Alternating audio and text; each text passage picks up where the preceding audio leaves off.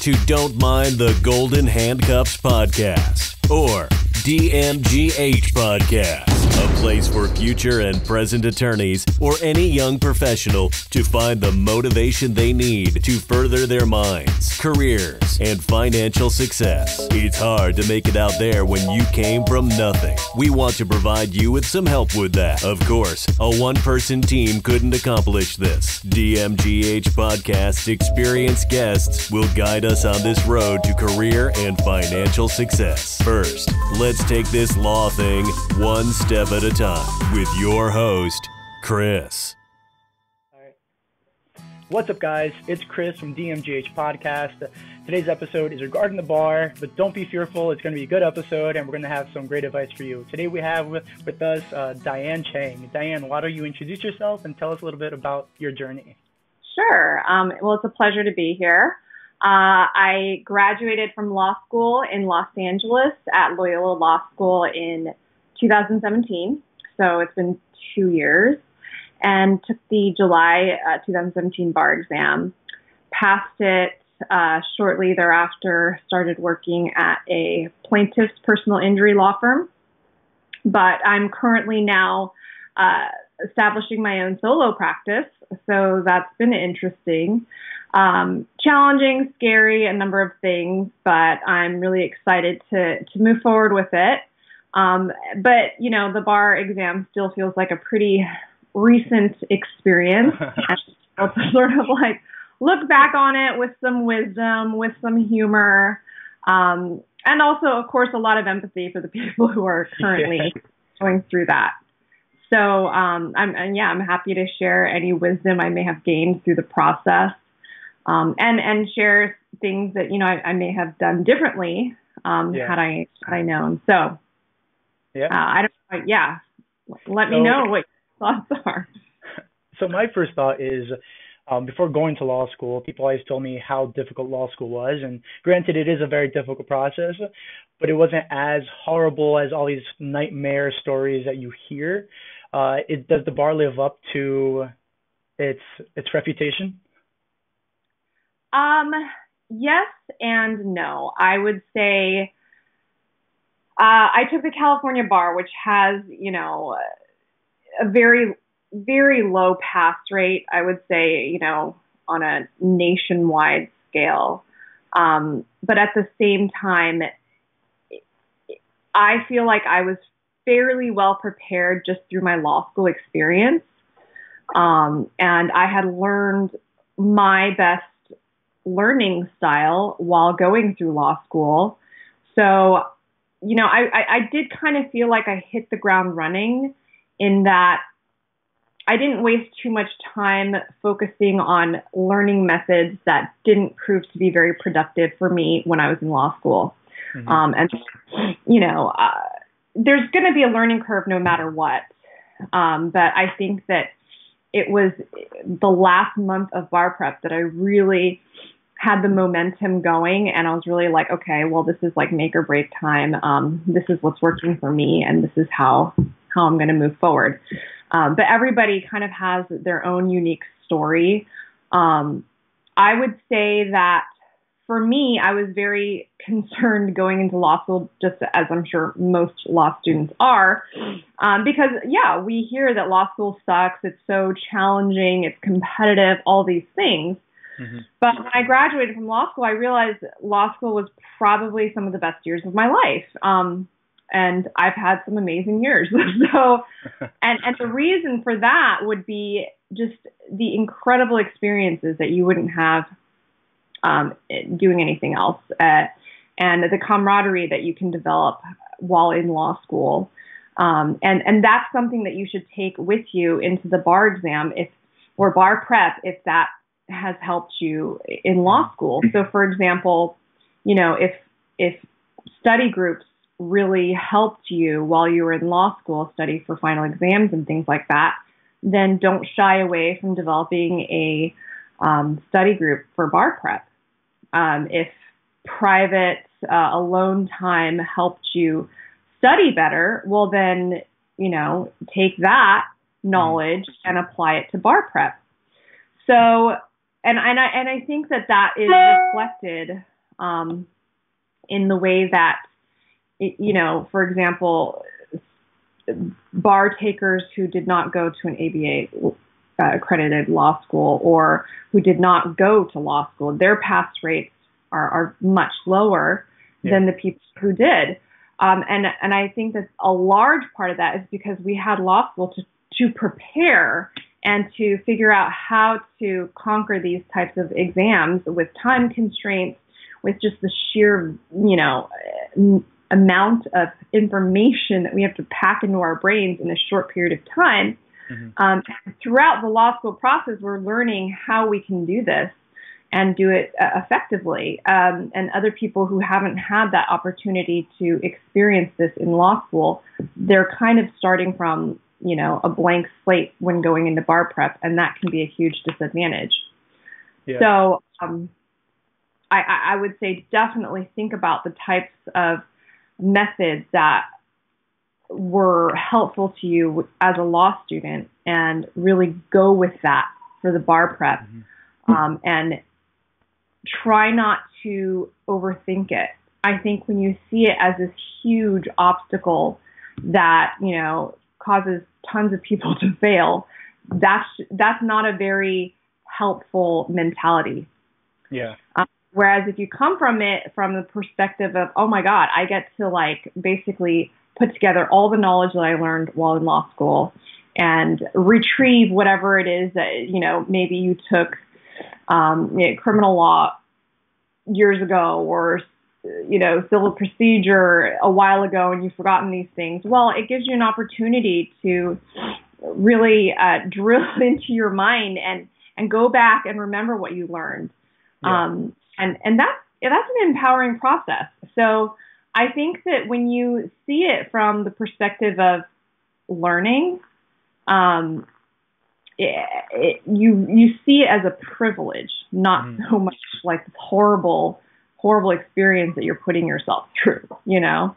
Um, and how did you approach subjects that you may have not studied in school, or did you take all the classes that were required for the bar, or not required? I guess. Yeah, so I definitely didn't take all the bar courses that were being tested. So, for example, I think it was like trusts and wills I hadn't taken, um, and that can be a little bit tricky. Um, I I would say, you know, whatever courses that are a little bit harder for you, um, you know, listen to the lectures, whichever bar prep course you choose to take um, and then you know get the outlines. You may want to see whether you have classmates who did take the course and mm-hmm. see whether you can um, you know borrow their outlines and really um, just try to try to start from very simple concepts and then allow yourself to develop you know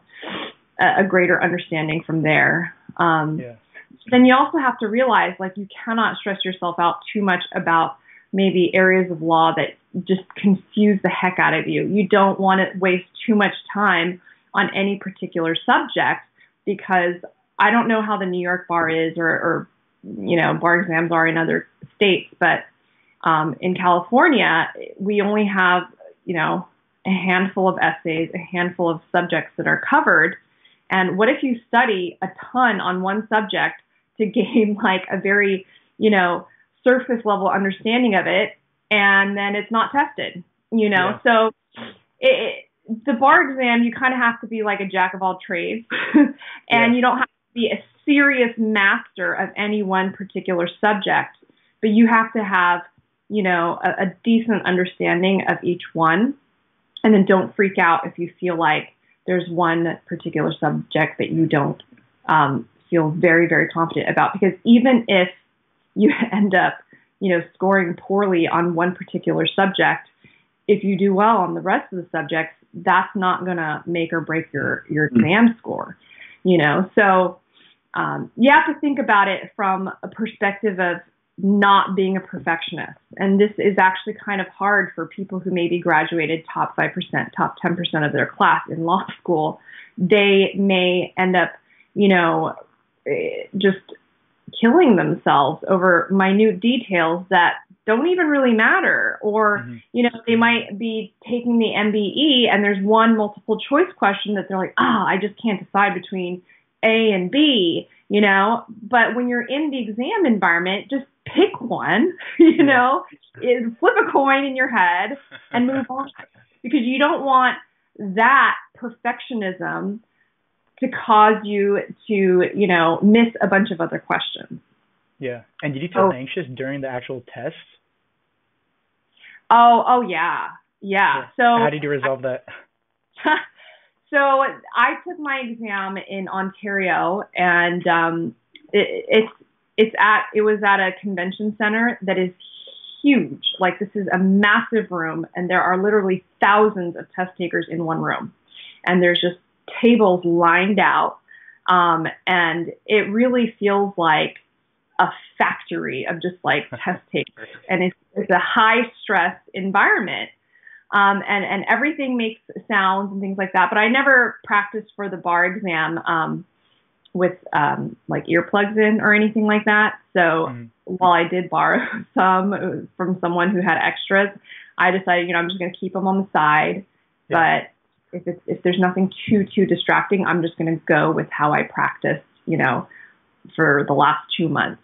Um, and and I did not end up using um, earplugs. And what I realized was, you know, people um, were were getting up, walking to the restroom in the, in that room, and someone, a test taker, maybe like two chairs down from me, she said, "Oh my God, did you hear the people who are like vomiting in the bathroom?" And I was like. Wow what? and I was like, no, I didn't.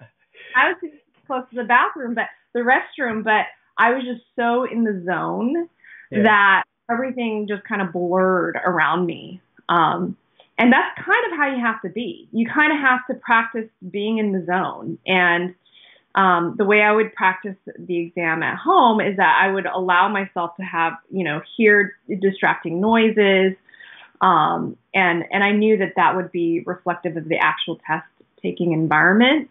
Mm-hmm. Um, and ultimately, you know, you're just going to have to practice being in the zone and and not allowing things around you to influence how you feel, and know that you know once once you take one section, it's not it's not done. You know, you can have another section yeah. to take. So you know, if you finish one section and there's somebody sitting behind you or next to you saying, "Oh my god, that was so easy." And then you're thinking to yourself, "Oh my god, that was not easy."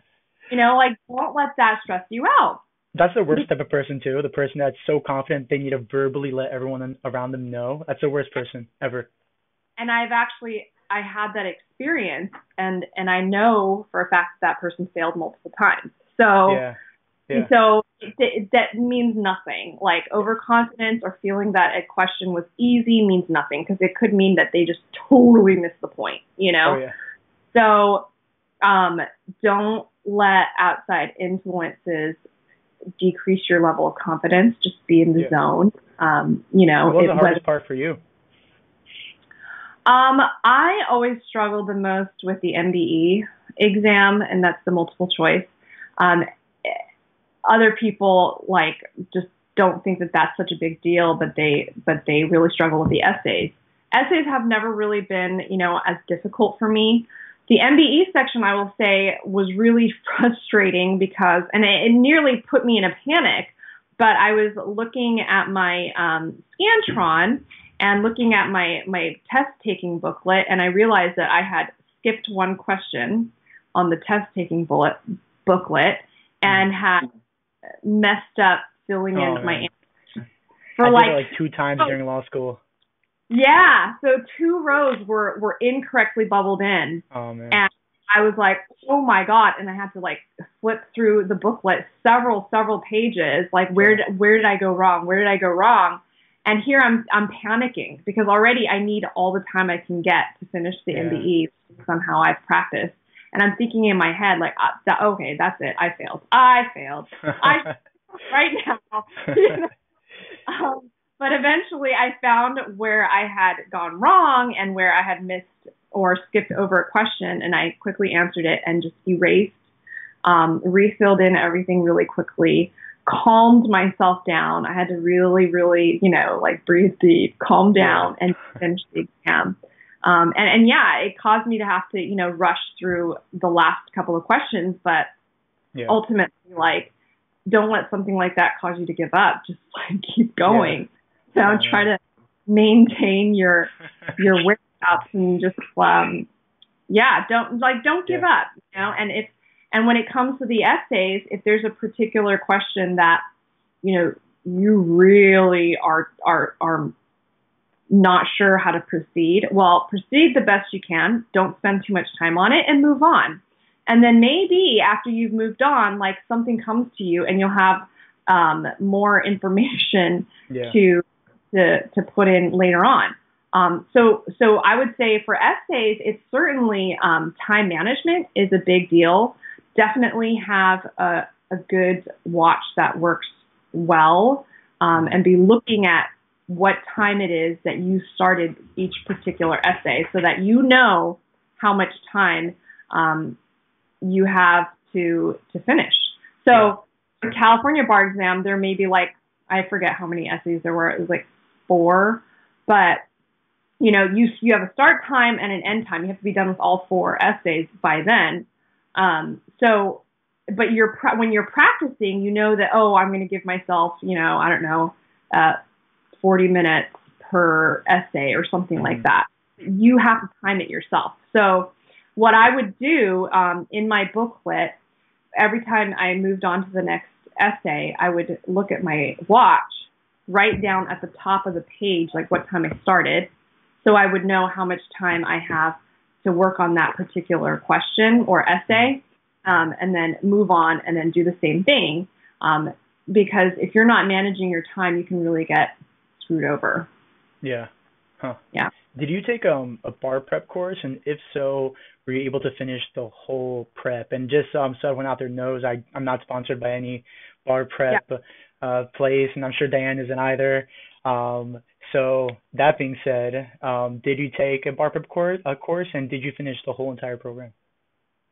I, I did take one. I took BARBRI. Um, I studied with a friend who actually was taking another another program, and um, I think BARBRI may have been the most popular one based on, you know, just my classmates, but plenty of other people passed taking other programs. Um, I was not very disciplined, and I don't think that I should be um, uh, a model bar prep student in that regard. I have finished like 60% of the assignments. All right, so um, everyone out there, um, Diane personally guarantees that if you do finish 60%, you will pass the bar. no, that is mad. Disclaim. no, so I, you know, most of my friends uh, that are very studious people, they they probably finished like 90 to to 100 percent of the program. Mm-hmm. Um, and I knew before going into the bar exam that I would feel so much more confident had I actually, you know, done a little bit more. So I think even just for, you know, personal feelings of confidence, like don't be so behind, you know. Yeah. You know, do more of the assignments and then you'll boost your confidence and that in and of itself is huge. Um, because at the end of the day, you can know everything. But if you're freaking out on the day of the exam, you may very well fail. So, and that and so, you know, part of it, finishing that program could very well be just boosting your confidence in how much yeah. you know material.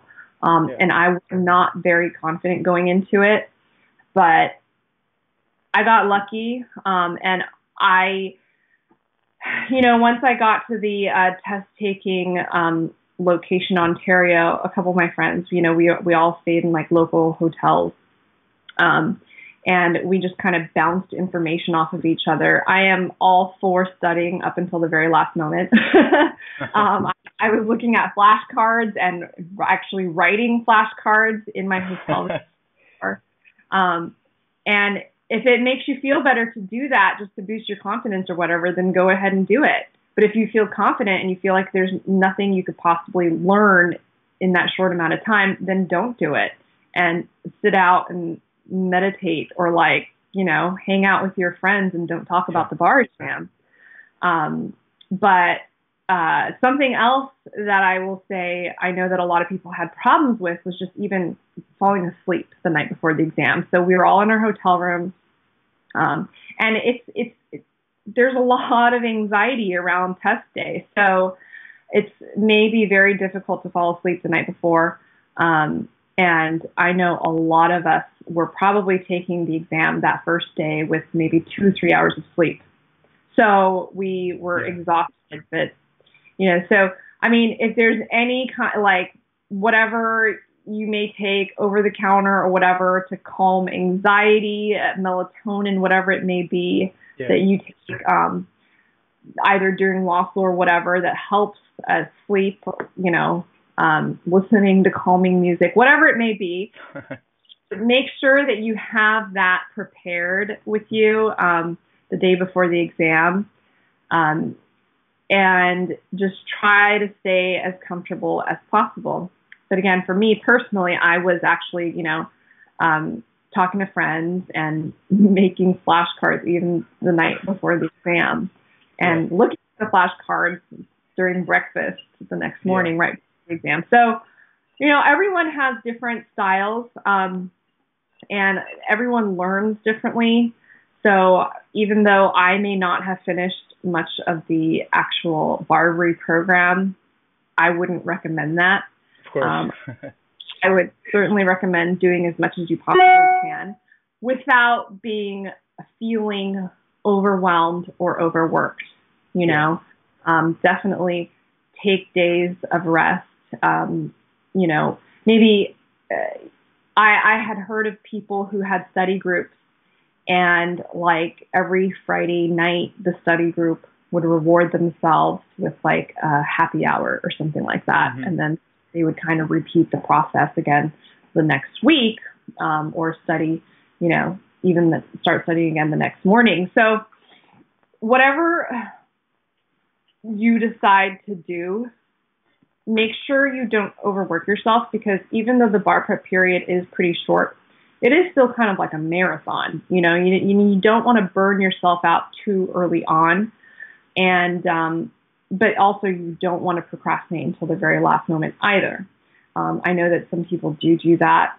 I probably really got into the, the groove of studying when I had one month left, but that's just, that's yeah. always been my kind of style. Yeah. You know, I learn better under pressure. Um, but whatever happens to be your learning style, you know, tap into that and mm-hmm. and into whatever your law school experience was that taught you. Oh, when when was it that time that I got a bad grade? Oh, it's because I did this. When yeah. did I get a good grade? Oh, it's because I did this. Personally, um, I do really well with flashcards and mnemonics, and that probably saved saved me. You know, because you have so many rules you're trying to memorize that mnemonics really come in handy. And I made my mnemonics as funny as I possibly could.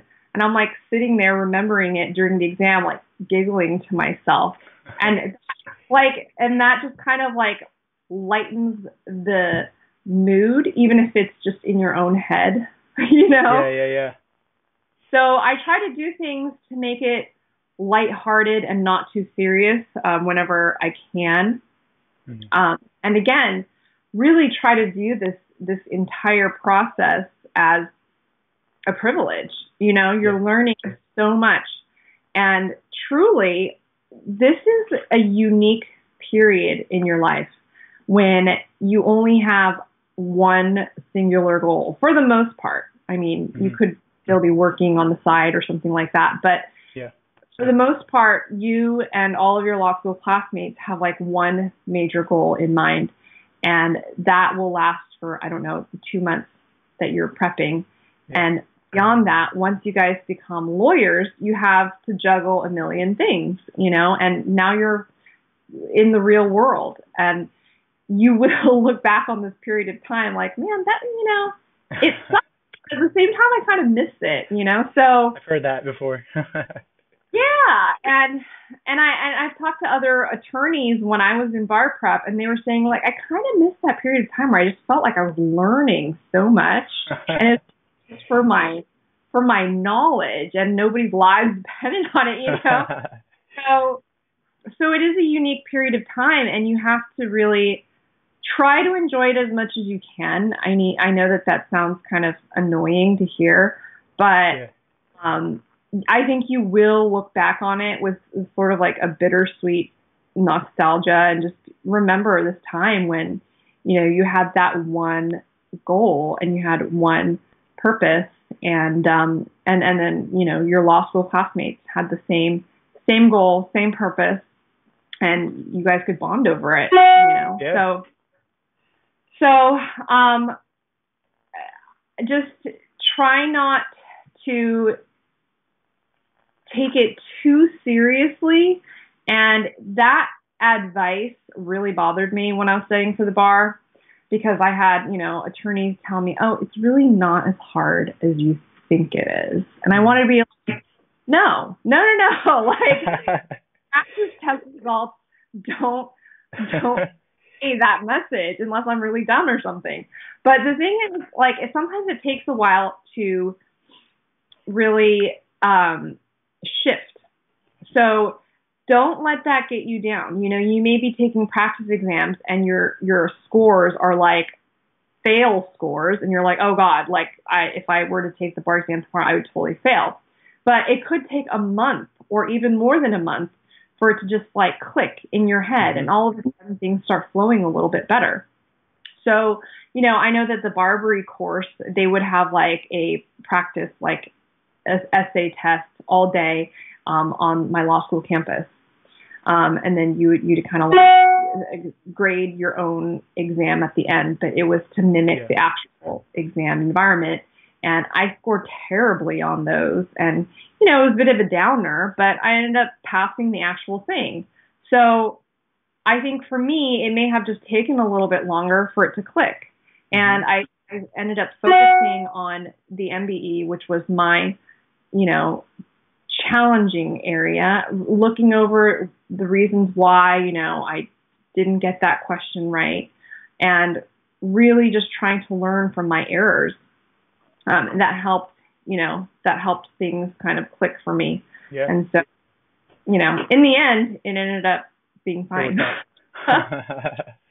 yeah, no, I just wanted uh, uh, to thank you for for talking with me today. Uh, and to anyone out there, I think the two takeaways is uh, one, if you don't pass, you, you won't become a lawyer. I think that's a you know a takeaway. Uh, and the second, uh, what was the second one? Um, don't take yourself too seriously kind of anything you do, you know, always kind of go with it lighthearted, and because being too stressed will never help anyone out. Um, so yeah, I wanted to thank you obviously for coming on the show, and uh, to everyone out there, I've, a lot of you guys are taking the bar uh, best of luck, and I'll see you guys in two months. Um, but until then, um, don't forget Diane's personal guarantee. Um, they did not pass the bar. no, but of course, uh, thanks for being on the show. And anytime you need anything, let me know, and um, you're always welcome back. All right. Thank you very much. All right. Talk to you soon.